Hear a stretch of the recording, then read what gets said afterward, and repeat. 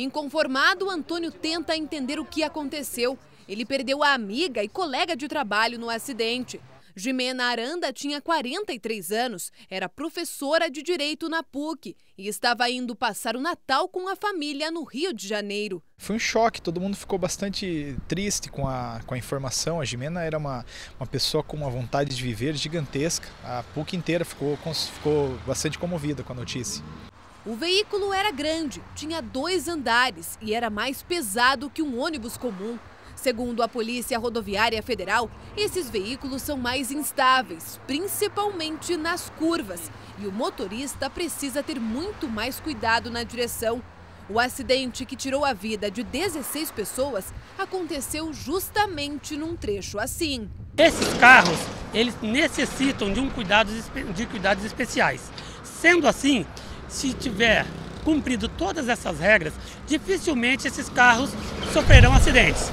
Porém, não está descartada a possibilidade de um eventual capotamento ou tombamento desse ônibus, as pessoas que estiverem na parte de cima poderá ser mais prejudicada de quem está na parte de baixo. Outro agravante é que, de acordo com testemunhas, muitos passageiros estavam sem o cinto de segurança, o que pode ter contribuído para o número de mortes. Inclusive a última vítima a sair, né, é, a última pessoa viva a sair, ela estava de cinto de segurança. Essa passageira usava o cinto quando o ônibus capotou. Eu senti, né, que estava rodando, rodando, rodando, e eu pensava, não vai parar de rodar nunca. E quando parou de rodar, eu estava pendurada o cinto aqui, assim, até dói quando aperta. A polícia ainda investiga as causas do acidente, mas a suspeita é que o motorista tenha dormido na direção. A sonolência ao volante é uma das principais causas de acidentes nas rodovias federais do país. O efeito pode ser pior que o do álcool. O sono, ele é tão ou mais perigoso do que uma pessoa dirigir embriagada.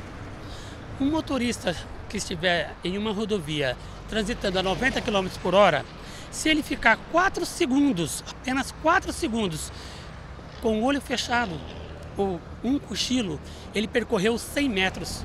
O ônibus seguia de Curitiba para o Rio de Janeiro. Oséias dos Santos dirigia sozinho, sem um motorista auxiliar, o que poderia ter evitado a tragédia.